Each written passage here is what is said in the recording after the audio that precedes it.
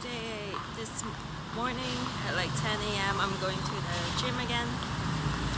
And yesterday was closed, so I didn't have a chance to go. So today I'm gonna go in the morning, early in the morning.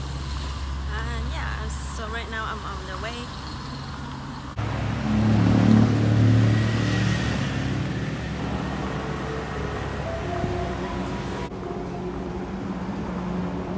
dance you